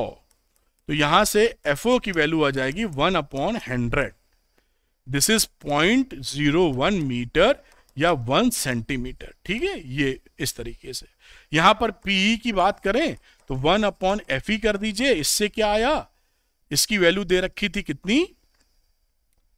फोर्टी डायोप्टर तो यहाँ से एफ़ ई की वैल्यू कितनी होगी? वन अपॉन फोर्टी और सेंटीमीटर में बात करें तो ढाई सेंटीमीटर आ जाएगा। आप बाकी काट सकते हैं, सौ अपॉन वगैरह वगैरह करके ढाई सेंटीमीटर अब इन दोनों से क्या आप देख पाए कि इन दिस केस जो हमारा एफ़ ओ है, इसकी वैल्यू छोटी है एफ़ ई से। ये था हमारा एक सेंटीमीटर और एफ़ ई है हमारा ढाई सेंटीमीटर अब ये मैंने आपको बताया था कि ये ये किसमें होता है? ये कंपाउंड माइक्रोस्कोप में होता है। इसका उल्टा होता है टेलीस्कोप में। तो ये क्या है बेटा? कंपाउंड माइक्रोस्कोप कंपाउंड माइक्रोस्कोप ये बात ज़रूर आइडेंटिफिकेशन के लिए दिमाग में रखिएगा कि अगर आईपीस का फोकल लेंथ बड़ा हो जाए ऑब्जेक्टिव से तो ये बन जाता है क्या? कंपाउंड माइक्रोस्कोप में ऐसा करते हैं। टेलीस्कोप में क्या करते हैं? हम लोग ऑब्जेक्टिव का फोकल लेंथ ज़्यादा रखते हैं। वो भी मैंने लिखा है जिससे कंफ्यूजन ना हो। तो हम पहचान पाए कि ये क्या है बेटा? Compound microscope. ये पार्ट जहाँ तक ए था। अच्छा क्वेश्चन था ये। गुड क्वेश्चन और बी की बात करते हैं। एंगुलर मैग्निफिकेशन तो एम की वैल्यू क्या आ जाएगी यहाँ पर? एल अपॉन माइनस प्लस छोड़ सकते हैं तो यही बताता रियल या वर्चुअल है। L upon F nought D upon F E और ट्यूब लेंथ बोली है 20 एफओ था यहाँ पर एफओ चलो, कितना है एफओ एफओ वन अपॉन सौ दिख रहा है, अगर आप सेंटीमीटर में रखें तो वन रख सकते हैं। और 20 सेंटीमीटर एल की वैल्यू 20 सेंटीमीटर रखी इसलिए। और डी का क्या है? 25 सेंटीमीटर। एफ़ ई कितनी है? एफ़ ई वहाँ से ढाई है। सब सेंटीमीटर में रखा है। इसको 10 आ जाएगा 200 आ जाएगा। ये 200 इज़ योर आंसर तो ये एक अच्छा सवाल था। गुड क्वेश्चन है वेरी इंपॉर्टेंट मैं लिख देता हूँ। अगर किसी बच्चे ने ध्यान नहीं दिया होगा तो शायद पहचानने में मुश्किल खा जाएगा। तो आप इसको नोट कर लीजिए। अगली बात करते हैं और हम लोग अब शुरू करते हैं टेलीस्कोप तो ये कंपाउंड माइक्रोस्कोप सिंपल माइक्रोस्कोप हो गया। आ जाते हैं अब हम लोग टेलीस्कोप के ऊपर। देखते हैं टेलीस्कोप क्या है। तो यहाँ पर देखिए it is the device which helps to see the distant object clearly जो दूर के ऑब्जेक्ट हैं, उनको क्लियरली देखते हैं। माइक्रोस्कोप में क्या था? जो पास के ऑब्जेक्ट हैं, उनको बड़ा देखते हैं। न्यूज़पेपर में अक्षर छपा है, सिंपल माइक्रोस्कोप। और कंपाउंड में भी पास में चीज़ें रखें, उनको बड़ा कर रहे हैं। अब दूर की चीज़ को हमको अगर बड़ा करना है तो उसको बोलेंगे अपरेटस को या डिवाइस को टेलीस्कोप ये टेलीस्कोप दो प्रकार के होते हैं। ब्रॉडली टू एक कैटेगरी ये है रिफ्रैक्टिंग टेलीस्कोप दूसरी है रिफ्लेक्टिंग टेलीस्कोप ये भी थोड़ा अंदाज़ा लेंगे। जो रिफ्रैक्टिंग टेलीस्कोप होता है, उसमें भी दो कैटेगरीज होती हैं। वो भी यहाँ देखिए मेंशन है। These make use of lenses to view distant object it has two types पहली, एक होती है एस्ट्रोनॉमिकल टेलीस्कोप जो जो हम चाँद तारे देखते हैं जिससे। अंतरिक्ष की या चाँद तारे देख रहे हैं, वो एस्ट्रोनॉमिकल टेलीस्कोप होते हैं। तो which is use to see heavenly objects heavenly objects को देखने के लिए like sun moon star planets और दूसरे होते हैं टेरेस्ट्रियल टेलीस्कोप यानी हम ज़मीन पर ही पहाड़ देख रहे हैं या बहुत दूर की चीज़ देख रहे हैं, ज़मीन से ज़मीन पर ही देख रहे हैं, लेकिन दूर से देख रहे हैं बाइनाकुलर्स जैसे इस्तेमाल किए जाते हैं। तो वो टेरेस्ट्रियल टेलीस्कोप होते हैं use to see distance objects on the surface of the earth यानी हम सरफेस पे ही अर्थ की सरफेस पे ही दूर की चीज़, पहाड़ देख रहे हैं, या जैसे कि बायनाकुलर्स होते हैं आर्मी वाले हैं, वो देखते कोई दुश्मन तो अटैक नहीं कर रहा, वगैरह वगैरह, वो टेरेस्ट्रियल टेलीस्कोप हो जाएँगे।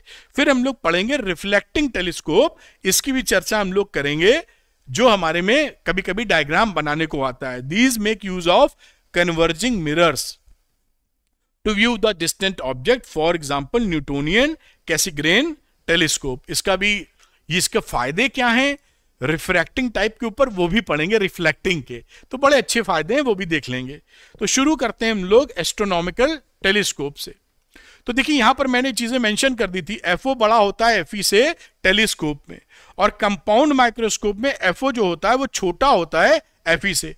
ये पहचानने में बहुत मदद करता है। और ये स्लाइड इसलिए भी इंपॉर्टेंट है कि आपका बहुत फ़ेमस क्वेश्चंस का ये जवाब देती है। वो जवाब क्वेश्चन क्या बनता है, जवाब क्या होगा, ये हम बता देते हैं आपको।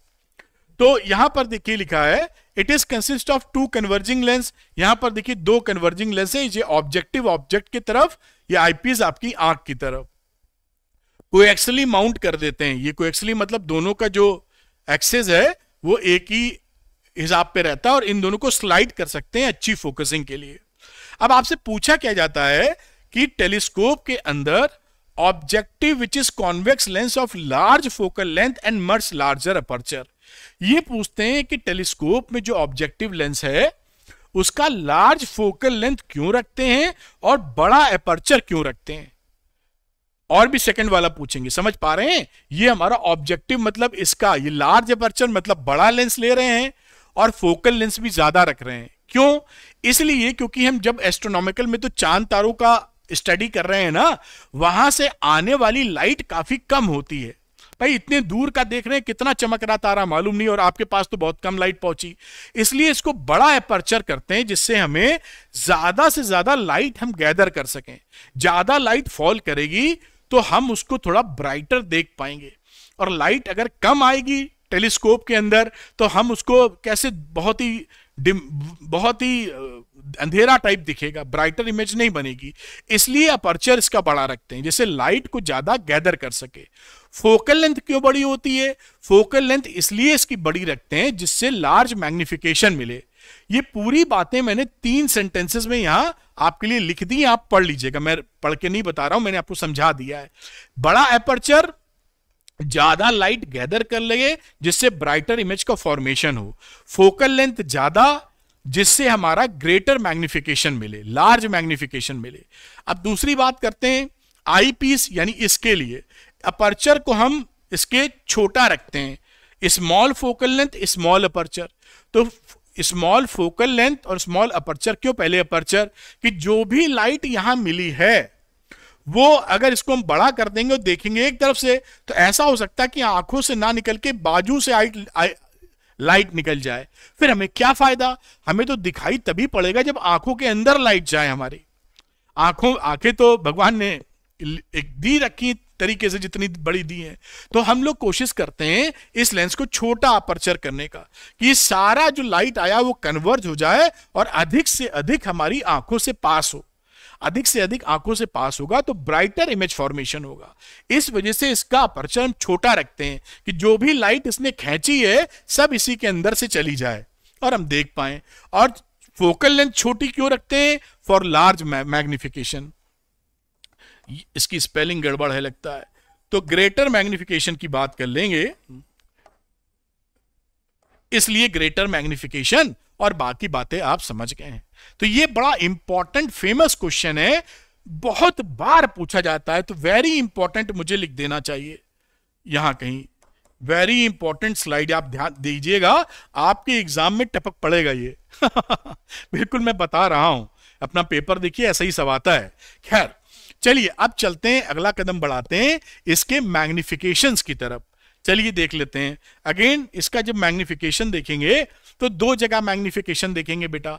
एक तो मैग्निफिकेशन हम देखेंगे जब फाइनल इमेज कैपिटल डी पर बन रही है, और एक हम देखेंगे जो फाइनल इमेज इंफिनिटी पे बन रही है। चलिए तो magnifying power of astronomical telescope जिसकी चर्चा यहाँ पर है और इसकी वर्किंग समझे तो ये कोई, क्योंकि ऑब्जेक्ट तो इन्फिनिटी पर ही रहने वाला है। ऑब्जेक्ट हमारा इंफिनिटी पर है, वहाँ पर आपकी, यहाँ पर रेस पड़ी। रेस पढ़ने के बाद वो कन्वर्ज हो जाती हैं और कन्वर्ज होकर एक रियल इमेज बनाती हैं। फिर हम यहाँ पर आईपीस रखते हैं, जो उसका हम बड़ा इमेज देख पाते हैं। इस तरह से इसका मैग्निफिकेशन हम अचीव करते हैं। तो एम की वैल्यू कितनी है, इसकी तरफ़ चलते हैं हम लोग। तो final image is formed at the least distance of distinct vision तो least distance of distinct vision की तरफ़ इसको लेके चलते हैं। अब ये इसकी बात लिखी है। एंगुलर मैग्निफिकेशन देखेंगे तो यहाँ पर मैग्निफाइंग पावर को डिफाइन किया है और उसकी बात क्या डिफाइन की है? कि the magnifying power of a telescope is defined as the ratio of the angle subtended by at the eye by the final image formed at the least distance of distinct vision पहले D पर बन रहा है ना? तो ये जो image हमारी आँखों पर जितना एंगल बना रही है बीटा तो एम की वैल्यू क्या लेंगे यहाँ पर? जैसे आपने लिखा beta upon two the angle subtended at the eye by the object at infinity when see directly और जब हम डायरेक्टली देखते हैं उस ऑब्जेक्ट को तो उस समय एंगल क्या हो रहा होता है हमारा एल्फा डायरेक्टली जब हम देखेंगे, किसी एंगल को, जैसे ये अल्फ़ा बन रहा है तो this angle is alpha infinity से जो हमारी बिना लेंसेस के डायरेक्टली लिखा है ना तो लिखा है यहाँ पर कि subtended at the eye by the object at infinity यानी ऑब्जेक्ट इंफिनिटी पर है, हम डायरेक्टली देख रहे हैं। तो जितना एंगल बना रहा है वो वो एल्फा तो ये एंगुलर मैग्निफिकेशन अचीव हो जाएगा। इसी से ये वैल्यू हम निकालने वाले हैं। मेरे ख्याल से मैंने यहाँ पर फ़ोटो लगाई है डेरिवेशन वाली तो मैं उसकी मदद से आपको डेराइव करके दिखाता हूँ। आइए चलते हैं। तो ये रहा डेरिवेशन का हिसाब किताब। चलिए मैं यहाँ ड्राइव करके दिखाता हूँ आपको। तो पहले यहाँ पर देखिए, यहीं से लिखना शुरू करता हूँ। जो एंगल्स है वो नोटिफाई कर देता हूँ, जैसे अल्फ़ा एंगल ले लेता हूँ।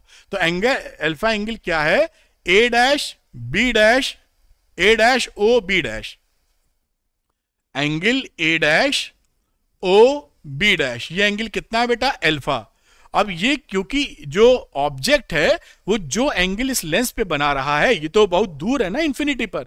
वही हम समझ लेते हैं कि लेंस ना होता तो हमारी आँखों पे बनाता। भाई इस ट्यूब लेंथ कितनी बड़ी हो जाएगी? वहाँ तो इतना आसमान में है वो। है ना? तो जो वो एंगल बना रहा है अल्फ़ा इस लेंस पर, ये लेंस ना होता, हम खड़े होते तो हम पे भी अल्फ़ा बनाता। तो ये एंगल हमने ले लिया क्या? जब हम डायरेक्टली देख रहे हैं उस ऑब्जेक्ट को।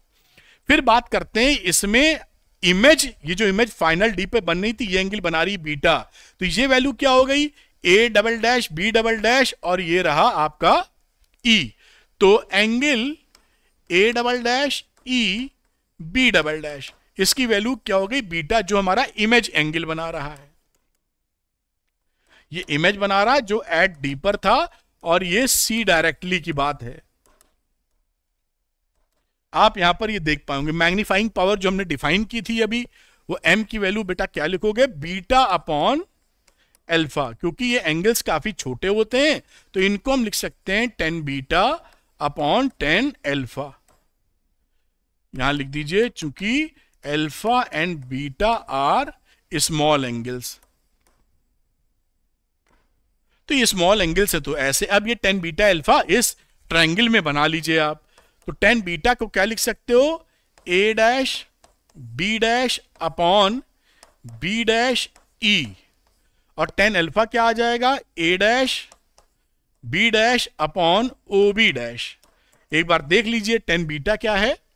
तो टेन बीटा है इसको लिख सकते हो ए डैश बी डैश और ये रहा B dash E perpendicular upon base tan alpha की बात कर जाए ये एंगल तो ए डैश बी डैश और ये रहा कितना? ओ बी डैश बढ़िया। अब यहाँ पर A dash B dash A dash B dash cut गया। ये वैल्यू आ गई O B dash upon B dash E ये वैल्यू आ गई। अब यहाँ पर हम कुछ साइन कन्वेंशन के हिसाब से वैल्यूज़ रख देंगे। तो कोई दिक्कत की बात थोड़ी है। यहाँ पर आ जाइए और हम पकड़ते हैं ओबी डैश ओबी डैश क्या हो गया? ओबी डैश हो गया प्लस एफ़ ओ ये देखिए ओ से लेकर ये रहा बी डैश तो ये तो इनफाइनाइट से है फोकस पे बनेगा इसके. तो that is focal length positive focal length ठीक? तो ओ बी डैश बराबर प्लस एफ़ ओ और बी डैश ई क्या आ जाएगा? ये बी डैश ई की बात कर रहे हैं. That is minus U E जो इसके लिए इसके लिए जो बात कर रहे हैं हम लोग बी डैश ई ये distance this is UE minus sign के साथ। ये दोनों वैल्यूज़ यहाँ पर हम डाल सकते हैं। इन दोनों वैल्यू को यहाँ डाल दीजिए। तो ये वैल्यू क्या बन जाएगी? Minus F O upon U E ये क्या हो गया? विच इज़ एम एम वहाँ लिखा था, एक बार एम में। चलिए, इतना ही लिख देता हूँ। यहाँ से क्या मिला? एम बराबर minus F O upon U E देखिए, ये मैग्निफिकेशन हमारे पास बेसिकली आ गया है, लेकिन दिक्कत क्या है कि यूई हम बार बार कैसे नापेंगे? अंदर है ना यूई तो। तो हम ये चाहते हैं यूई को किसी और किसी और फिगर से रिप्लेस कर दें, जो अंदर की नपाही ना करना पड़े। यूई तो ट्यूब के अंदर है ना टेलीस्कोप के अंदर। तो इसके लिए हम क्या करते हैं? फॉर्मूला लगाते हैं for the eyepiece lens formula for the eyepiece using lens formula lens formula lens formula इसका इस्तेमाल कर लेते हैं।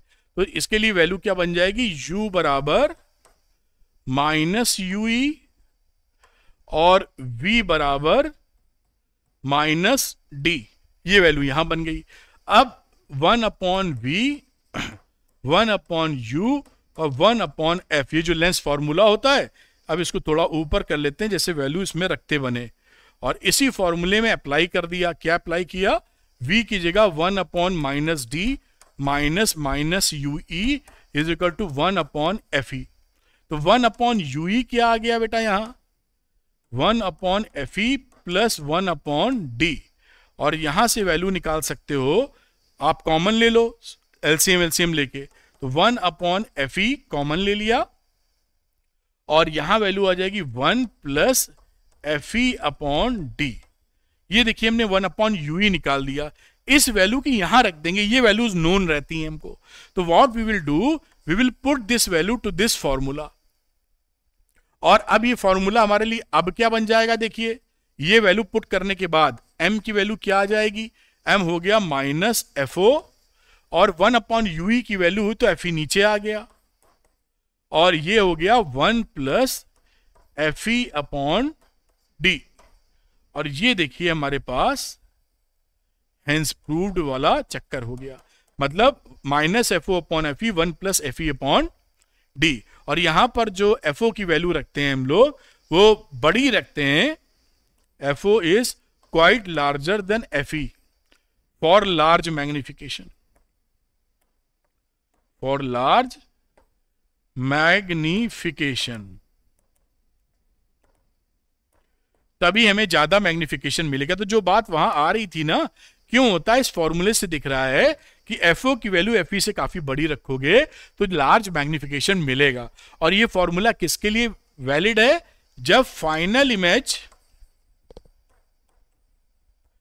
एट डी की बात जब हमने की इंफिनिटी पे बनाएँगे तो अलग बात। तो एस्ट्रोनॉमिकल टेलीस्कोप के लिए फॉर्मूला आपको याद होना चाहिए minus F O upon F E one plus F E upon D मैं हट जाता हूँ उसका एक बार डेरिवेशन दिखाता हूँ। इनकी भी प्रैक्टिस कर लीजिएगा, तभी आप आसानी से बना पाएँगे और गलती से बच पाएँगे, ठीक? तो इसको मैं नीचे लेके आता हूँ। ये देखिए, इसको आप नोट कर लीजिए। फिर हम लोग बात करेंगे कि जो एस्ट्रोनॉमिकल टेलीस्कोप का इनफाइनाइट पर जो इमेज बनता है, उसकी वैल्यू क्या आने वाली है? ठीक? तो इसको मैं थोड़ा ऊपर करता हूँ बेटा। यहाँ रोकता हूँ। ये दीजिए, इसको नोट कर लीजिए। मेरे ख्याल से आप इसको नोट कर पाए होंगे। चलिए, एक कदम और आगे बढ़ाते हैं। यहाँ पहुँच गए देखिए। और अगली जो बात है, वो इसी को लेकर है कि magnifying power of astronomical telescope final image कहाँ है इंफिनिटी पर? पिछले वाले केस में क्या था? फाइनल इमेज डी पर थी। अब हम फाइनल इमेज कहाँ बना रहे हैं? इंफिनिटी पर। तो वही सारी बातें जो लिखी हुई हैं कि the magnifying power of a telescope is defined as the ratio of the angle ये एंगुलर मैग्निफिकेशन लेता है subtended at the eye by the final image at seen through the telescope to the जो final image देख रहे हैं, यानी beta upon alpha यही वाली बात लिखी है, आप इसको पढ़ लीजिएगा, कोई दिक्कत नहीं। इसकी वैल्यू आती है M equal to minus F upon F E और लेंथ ऑफ़ द टेलीस्कोप यानी इसकी जो टेलीस्कोप की लेंथ है, वो होता है F O plus F E क्योंकि इसका इंफिनिटी वाला इसके फोकल लेंथ पे बनेगा। इसकी फोकल लेंथ पर। इसका भी फोकल लेंथ उसका फोकल लेंथ दोनों सेम जगह आ जाएगा। जिससे फोकल लेंथ पे बनेगा, तभी इंफिनिटी पे बना पाएगा। तो F O plus F E तब हमारा लेंथ ऑफ़ द ट्यूब होता है। तो इसका भी इस्तेमाल आपसे कई जगह कराया जाता है न्यूमेरिकल में। खैर, इसको आप समझ पाए होंगे। देखते हैं इसका डेरिवेशन कैसे आता है। बहुत ही आसान है यहाँ, जैसे किया था। तो angle A dash O B dash ये वैल्यू एल्फा हो गई। A dash B dash O या A dash O dash B dash this is alpha इसी तरीके से एंगल की बात की जाए। A dash E B dash is equal to beta ये रही A dash E B dash this is beta magnifying power का मतलब क्या है? बीटा अपॉन एल्फा जैसे पीछे किया था approximately equal to tan beta upon tan alpha जब एल्फा बीटा छोटे हों, ये एल्फा बीटा आर स्मॉल ठीक है? अब यहाँ पर टेन बीटा की बात लिखिए तो A dash B dash upon B E tan alpha की बात लिखिए तो A dash B dash upon O B dash एक बार फिर से समझ लेते हैं। टेन बीटा की बात कर रहा है तो बीटा का मतलब हो गया perpendicular A dash B dash upon B dash E वही लिखा है। अल्फ़ा की बात करेंगे तो perpendicular A dash B dash and O B dash ये दोनों वैल्यू देखिए कट गई। और यहाँ पे वैल्यू क्या आ गई? O B dash upon B E अब यहाँ हमने पीछे देखा था, यही रहने देते हैं। ओ बी डैश की वैल्यू क्या है? प्लस एफ़ ओ और बीई की वैल्यू क्या है बेटा? B E minus F E O B dash आप जान रहे हैं। ओ बी डैश ये एफ़ ओ हो गई। और ये दूसरी जो हमारी बात रही बी डैश ई ये कितनी है? माइनस एफ़ ई अब मैग्निफिकेशन की वैल्यू रख दीजिए इन दोनों की वैल्यू यहाँ। ये वैल्यू क्या बन गई आपकी? F O minus F O upon F E तो एम की वैल्यू क्या आ जाएगी? Minus F O upon F E दोनों वैल्यूज़ हमको जब हम बनाते हैं टेलीस्कोप तो एफ़ ओ एफ़ ई पता होता है। बस एफ़ ओ एफ़ ए की वैल्यू रखिए और आंसर हमारे हाथ में आ गया। तो ये बहुत छोटा सा डेरिवेशन था।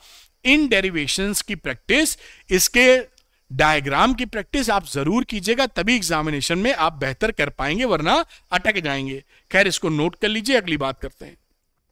मेरे ख्याल से आप नोट कर पाए होंगे। चलिए, अगले कदम पे चलते हैं।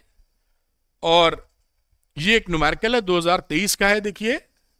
एकदम नया नुमेरिकल अब यहाँ पर देखिए, लिखा ड्रॉ ए रे डायग्राम हमने कहा ना कि आप रे डायग्राम वाली चीज़ें ज़रूर तैयार करके रखिएगा, आपसे पूछी ज़रूर जाती हैं तो तैयारी रहिएगा। अब दूसरा जो नुमेरिकल है, उसको करने की कोशिश करते हैं।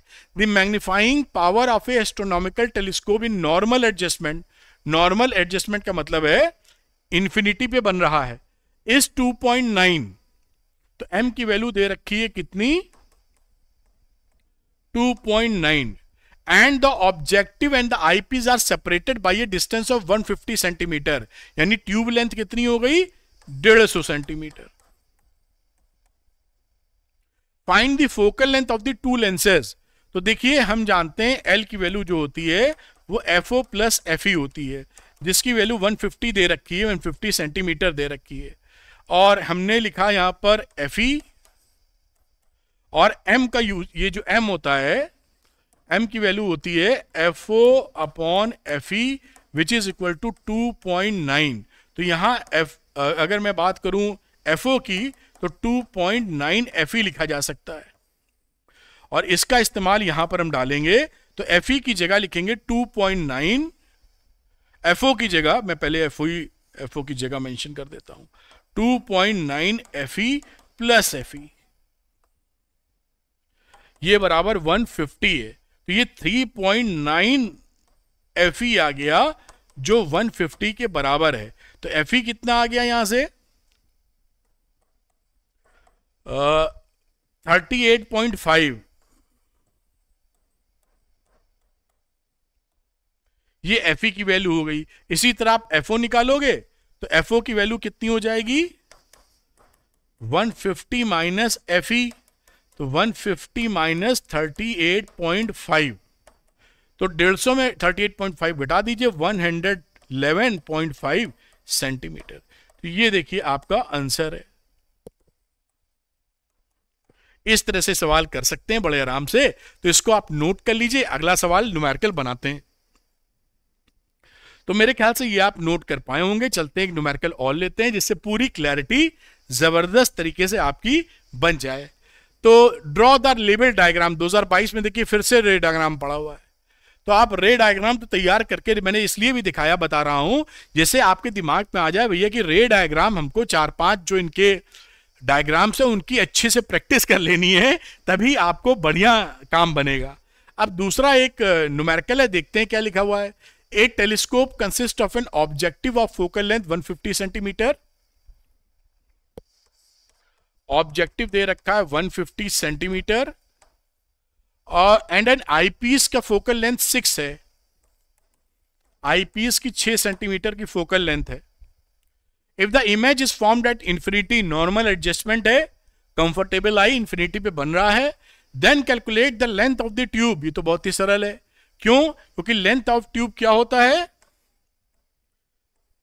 लेंथ ऑफ़ ट्यूब जब इंफिनिटी पे बने, यानी एल बराबर F O plus F E तो ये वैल्यू कितनी हो गई? 150 प्लस सिक्स यानी 156 सेंटीमीटर ये आपका आ गया पहले का आंसर।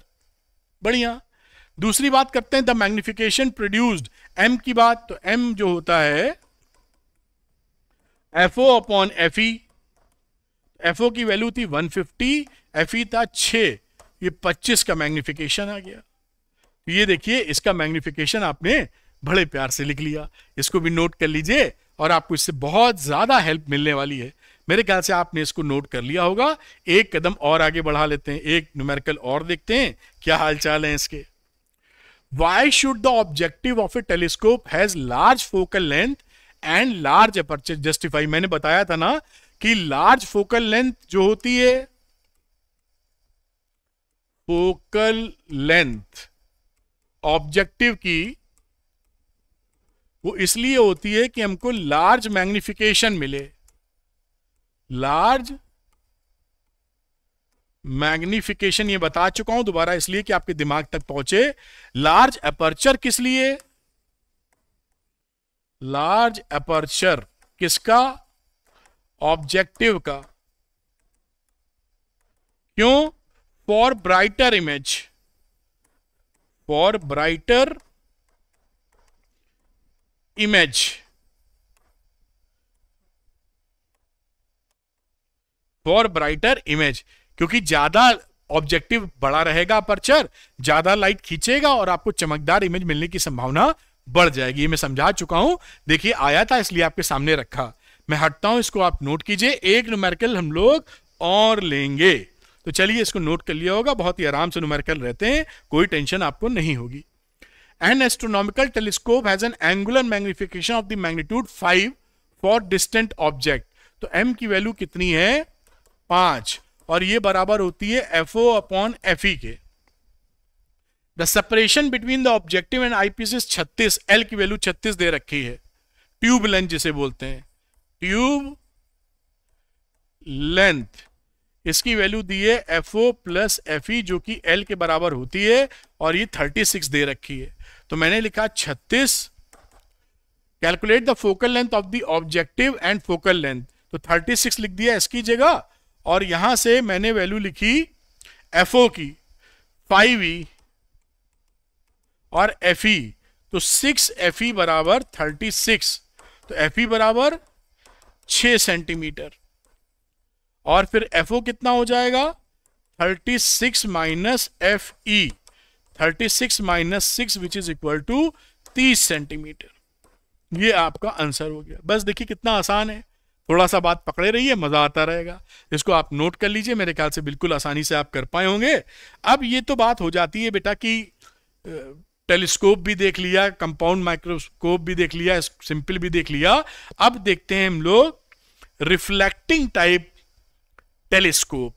इसके फ़ायदे भी हम अभी गिनाएँगे आपको। तो देखिए, रिफ्लेक्टिंग टेलीस्कोप क्या है? दो फिगर्स आप दिमाग में रखें। ये न्यूटोनियन रिफ्लेक्टिंग टेलीस्कोप है। It consist of a large concave mirror ये कॉनकेव मिरर था। ये किससे बना था? Alloy of copper and tin से। ये क्या था? एलॉय ऑफ़ न्यूटन साहब ने बनाया था। Alloy of copper and tin and tin इससे ये बनाया था इन्होंने। तो इससे इन्होंने इसको बनाया। ये जो कॉनकेव मिरर लगा है? लाइट पैरेलल इनफाइनाइट से आ रही है पैरेलल लाइट फॉल करती है, फिर कन्वर्ज करती है फोकस पर। तो कन्वर्ज करने से पहले ही इन्होंने यहाँ पर एक प्लेन मिरर लगाया 45 डिग्री एंगल पर। 45 डिग्री के एंगल पर तो ये रे यहाँ पर पड़ी, बीच में इंटरसेप्ट हुई और इससे रिफ्लेक्ट कर गई। रिफ्लेक्ट करके हमने आईपीस लगा दिया और आईपीस लगाने से हमने इसको आराम से देख लिया। मैग्निफाइड इमेज काफ़ी बन जाती है। तो यहाँ पर रिफ्लेक्शन है। कहीं देखिए लेंस नहीं इस्तेमाल हुआ है। रिफ्लेक्ट रिफ्लेक्ट एंड यहाँ देखने के लिए हमने इस्तेमाल किया है आईपीस दूसरी बात कहते हैं Cassegrain reflecting telescope it consist of a large concave paraboloidal paraboloidal primary mirror having a hole at it centre ये देखिए, ये आपका पैराबोलोडियल ये आपका पैराबोलिक शेप का एक मिरर है। इसके बीच में एक होल है। इसका भी प्रैक्टिस कीजिएगा एग्ज़ाम में पूछ लिया जाता है। यहाँ छेद है तो ये पैरल रेस पड़ी। उसके बाद सेकेंडरी मिरर यहाँ लगा देते हैं फोकस से पहले। यहाँ पर रेस पड़ी, फिर वो इंटरसेप्ट करा देते हैं इस होल के आसपास। तो इस होल के आसपास हमें आई या या इमेज फॉर्मेशन होता है और आईपीस से हम देख लेते हैं। यहाँ भी सारा काम देखिए रिफ्लेक्शन से ही ये रिफ्लेक्शन ये रिफ्लेक्शन फिर आईपीस देखने के लिए। तो ये रिफ्लेक्टिंग टेलीस्कोप है। और रिफ्लेक्टिंग टेलीस्कोप का फ़ायदा क्या है? वो आपको अगली स्लाइड में यहाँ दिखने वाला है। ये देखिए, यहाँ पर इसमें एडवांटेजेस है कि जो रिफ्लेक्टिंग टाइप टेलीस्कोप होते हैं, क्या एडवांटेज देते हैं? तो पहला एडवांटेज क्या है? एक concave mirror of large aperture has high gathering power and absorbs very less amount of light ये यहाँ पर जो कॉनकेव मिरर हम लगा रहे हैं पैराबोडाइकल ऑब्जेक्टिव मिरर या ये कॉनकेव मिरर इसमें रे जब टकराती है तो एब्जॉर्ब कम होती है और ज़्यादा बड़ा इसको बना सकते हैं। तो ज़्यादा रे टकराएगी तो हमारी इमेज ब्राइटर बनेगी फाइनली है ना? और ये एब्जॉर्ब भी नहीं करते हैं रिफ्लेक्शन होता है तो एब्जॉर्प्शन कम होता है तो हमारा लॉस भी इंटेंसिटी ऑफ़ लाइट का नहीं होता है। ये लार्ज अपर्चर्स का बन सकता है। The final image formed in reflecting telescope is very bright मैंने बोला ना कि काफ़ी ब्राइट इमेज फॉर्मेशन होता है। सो इवन वेरी डिस्टेंट और faint stars can be easily viewed यानी बहुत दूर से आप देख रहे हैं तो किसी भी स्टार को जो फेंटली चमक रहा, बहुत बहुत ही कम चमक है, उसको भी आप पकड़ पाते हैं इससे। दूसरी बात due to large aperture of the mirror use the reflecting telescope has high resolving power large mirrors use कर सकते हैं। तो उससे जो रिजॉल्विंग पावर है आपकी अपर्चर बढ़ने से दो चीज़ों को साफ़ ढंग से अलग अलग देख पाना। दो चीज़ें करीब करीब है, उसको अलग से डिस्टेंट देख पाना is known as a resolving power वो अच्छी रहती है। As the objective is a mirror and not a lens it is free from chromatic aberration क्योंकि यहाँ रिफ्लेक्शन हो रहा है तो कोई क्रोमेटिक एबरेशन मिलेगा नहीं। लेंसेज में क्रोमेटिक एबरेशन मिलता है। क्रोमेटिक एबरेशन क्या होता है? इन्हीं लेक्चर्स के शुरू में मैंने बताया लेक्चर नंबर वन में रे ऑप्टिक्स का।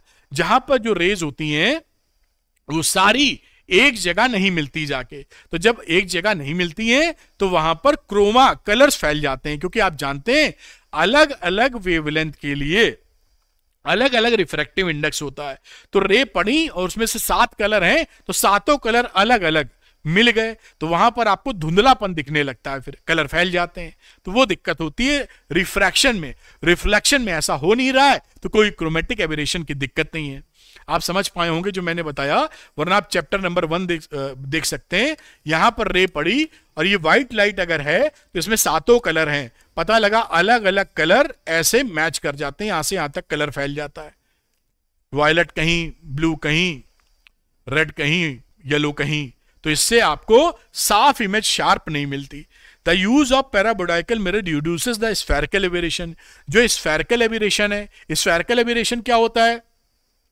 स्फेरिकल एबिरेशन ये होता है कि अगर हम पैराबोडाइकल जब ले लेते हैं मिरर तो उस केस में जो रेज होती हैं, वो सब की सब आके एक जगह कन्वर्ज कर जाती हैं। अगर हम पैराबोडाइकल नहीं लेंगे पैराबोलिक मिरर्स तो ये जो आपकी पैरेक्सियल रेज हैं ये कहीं आके कट करेंगी और जो मार्जिनल जो प्रिंसिपल एक्सेस से दूर हैं, वो आके कहीं और कट करेंगी, ऐसे। तो दो इमेज फॉर्मेशन होंगे जो हमारे लिए साफ़ इमेज फॉर्मेशन नहीं करेंगे।